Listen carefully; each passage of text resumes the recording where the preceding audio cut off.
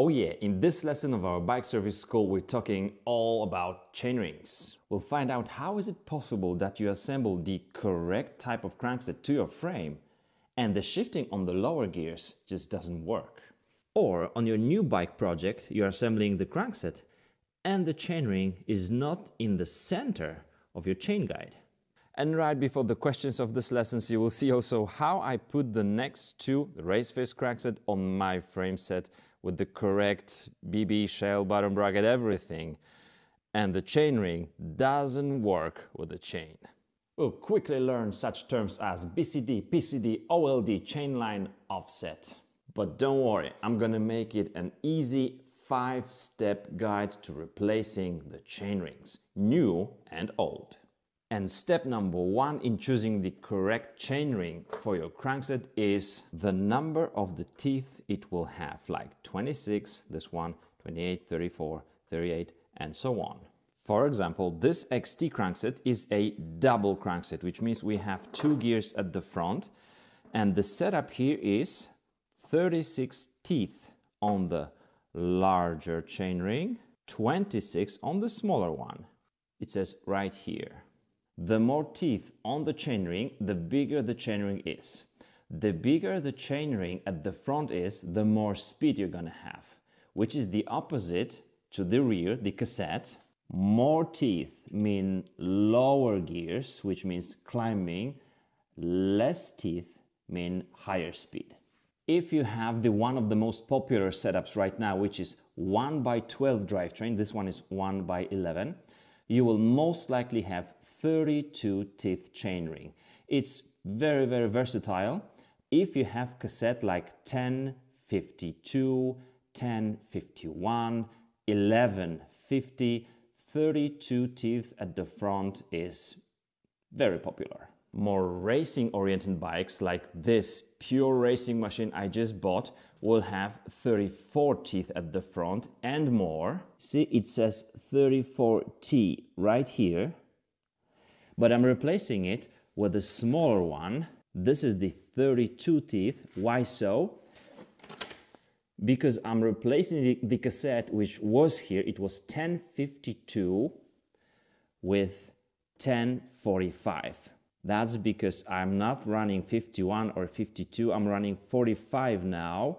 So I need lower gear at the front. For 2-by recreational bikes, uh, it will often have 32 and 22. These are the chain rings I was replacing just a week ago for my customer.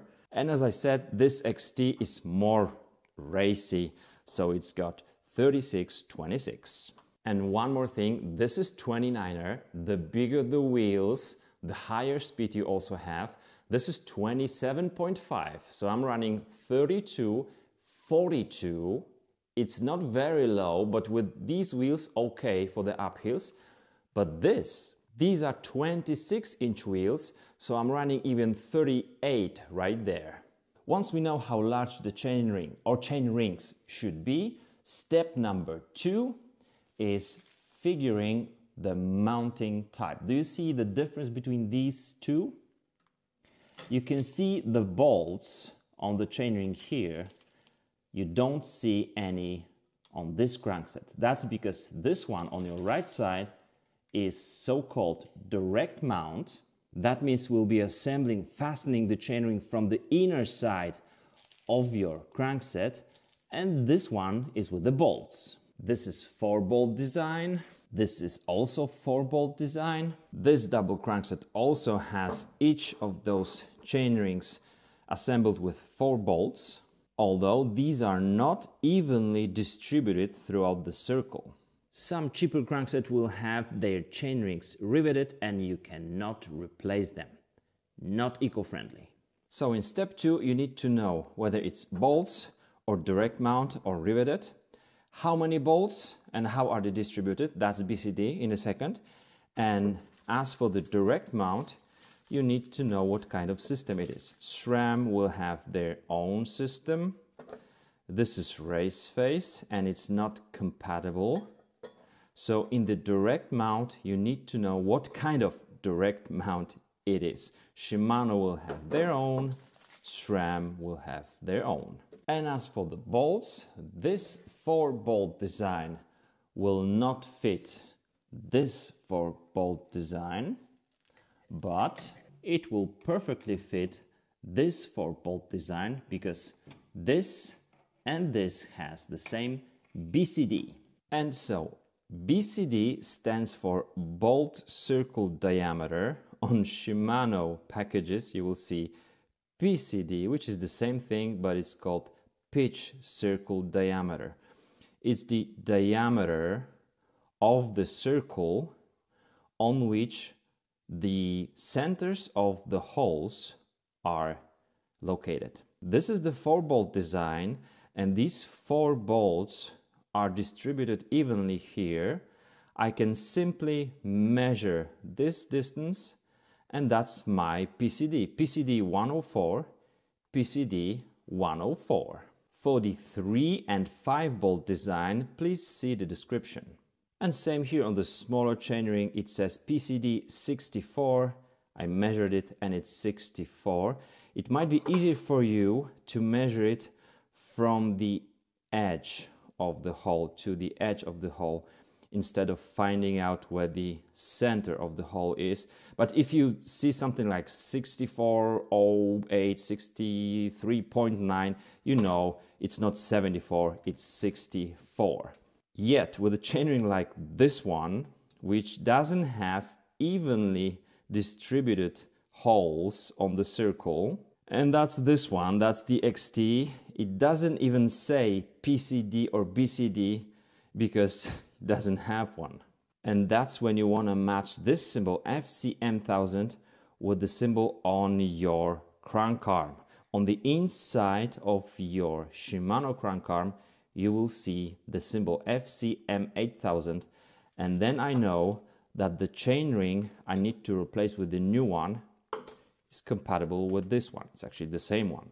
So don't worry, it's not that complicated. In step two, you either need to know whether you have the direct mount or the bolt mount and what kind of direct mount it is. This is the cinch on the race face.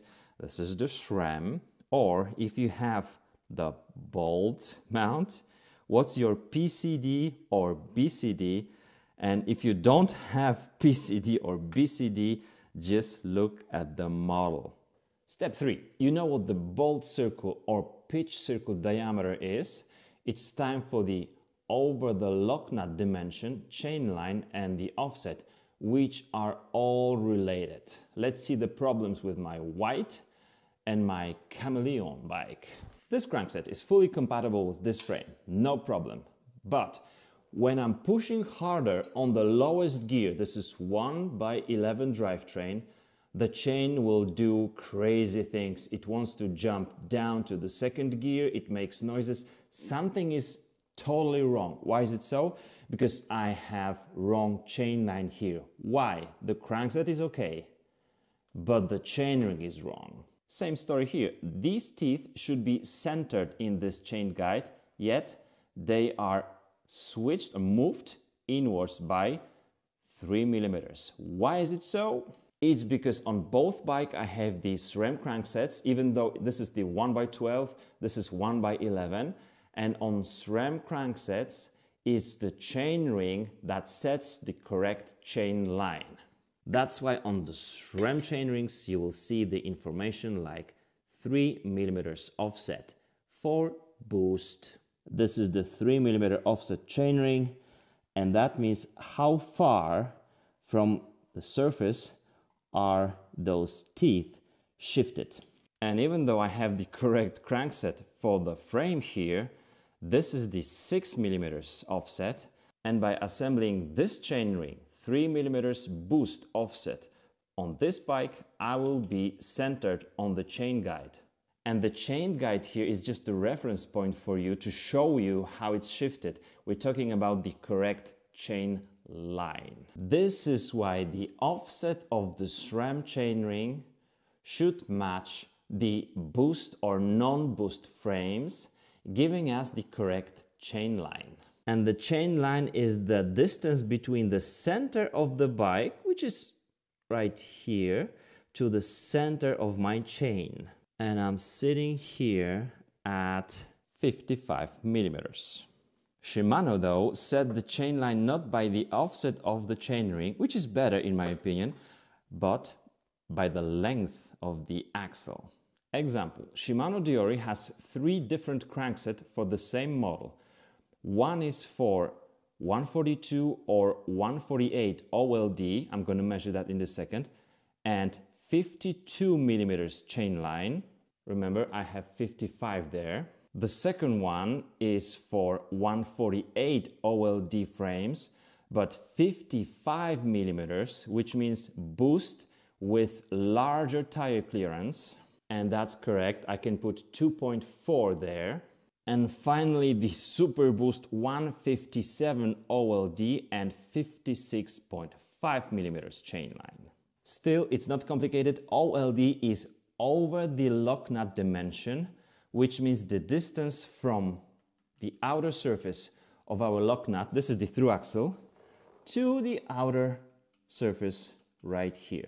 On the frame side, it simply means how wide your rear triangle is, but not just anywhere. We measure from those slots for your axle. To make it easy for you guys, I disassembled another frame, all right? So this is the chainstay, these are the chainstays too, and we will measure them. I will flip it over and we measure it between those slots. I've got 142 millimeters right here. So OLD, over lock nut, 142. But if I measure it on this one, you see, I have more.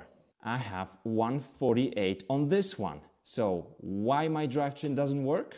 This is the same frame. This is the Merida 96. Yes, I love them and I do race on them for years. But this is the older model 27.5 inch wheels. And this is even older. So this comes from like 2014, which was 142 non-boost. This might be 216, which was already boost. And so I took the crankset from this frame set, from this bike, and put it on the Boost bike. That's why I messed up the chain line here. What the heck with this one? Well, I bought this bike with the power meter and in order to get some money back from this pretty expensive purchase, I sold the power meter, it was Quarq, and I bought really cheap new Eagle crankset, but this one came with the non boost offset on the chainring. That's why I bought this 3mm offset chainring for the boosted frame. And I think SRAM made it much better because I don't have to replace the whole crankset. I just swap the chainring, which wouldn't be possible with the Shimano crankset because the crankset does set your chain line. Thus, it says here 52 millimeters which would fit my 142 non-boosted frame with some spacers. It would also fit my 148 boosted frame because I don't have large tire clearance. You can put 225 there, but it would not fit this bike which has 2.4 inch tire clearance and it needs 55 millimeters chain line. So it's not that complicated and I hope you'll be able to build any bike with any chainring, but we have two steps left and these are the shortest ones. We already talked about the BCD or PCD, pitch circle diameter, but we also need to talk about the model itself. And it's really bad in the industry, not only bike industry, which means you can buy a chainring with the correct BCD or PCD. And as you can see in this case, I would actually fit this Deore chainring with the XTR. It used to be triple uh, crankset, so three gears at the front. It fits. But sometimes you will see that the shaping, this shaping right here, will be different just so that you won't be able to fit it to your crankset. Just so that you buy a new crankset. What do I do then? I do Dremel. I take the new chainring which doesn't fit my crankset but has the correct BCD. I purchase different accessories for my Dremel and I simply make the cut as I need. Just make sure you don't weaken your chainring too much, but it's, it's usually the same chainring really with something here like sticking out so that you need to buy a new crankset. I don't. And as for the chain line on the older drivetrains, for example, you'll be making conversion from 2 by 10 to 1 by 10, you can switch it by first deciding, for example, on which side on the spider you would assemble this chainring. As you can see, I could put it on this side and on that side. And you can also use different lengths of these bolts with some spacers if you needed to push it towards the frame more. And don't worry so much with these older ones because the chain line here is not that important because this was like 3 by 9 or something. With the original 1 by 11 and even more so on 1 by 12, if you mess up the chain line, it won't work. And finally, my mysterious bike, which has the correct model, it would seem, the correct mounting type on the correct crankset and that was because I wanted to replace like 32 with 34 or 34 with 32 and I bought this chain ring which fits the crankset, the crankset fits the frame but the chain didn't work with the chain ring because on these race face chain rings you should have little sign for Shimano 12 speed only. You don't see it here because it's hidden behind the crank arm. It should be written here. Doesn't say here, should be written right here. It's behind the crank arm. And so I bought this one and then I figure out for the 1x12 Shimano drivetrain, I need to buy specific 1x12 Shimano drivetrain race face chainring. And that was step five. Make sure you have the right chainring for your drivetrain. Obviously there was a Shimano cassette here, but I'm changing something always. And we're ending with three questions. Question number one. What's the difference between PCD and BCD? Put the answer in the comment. How does Shimano and SRAM determine the chain line on their cranksets? And the third question, how do you actually measure the chain line at home? And that's it for our bike service school lesson. Thank you for watching. I'm gonna clean this mess and go for training. Bye bye.